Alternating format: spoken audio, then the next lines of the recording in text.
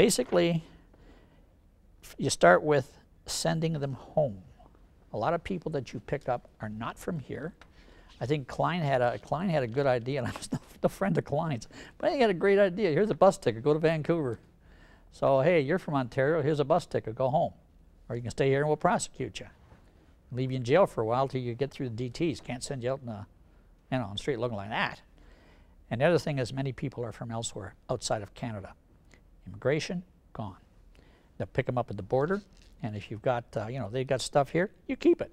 It's yours. They got these, you see these nice big fancy cars the young kids driving?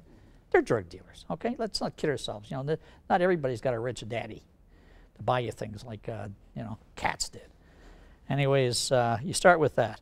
Change the police focus to the drugs.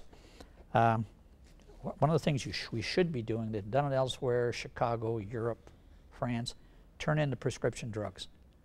Uh, just the old folks, uh, you, you have a child that has various ailments, and he's past them, turn him in. Don't keep him in your house. Don't throw him down the drain. Turn him in.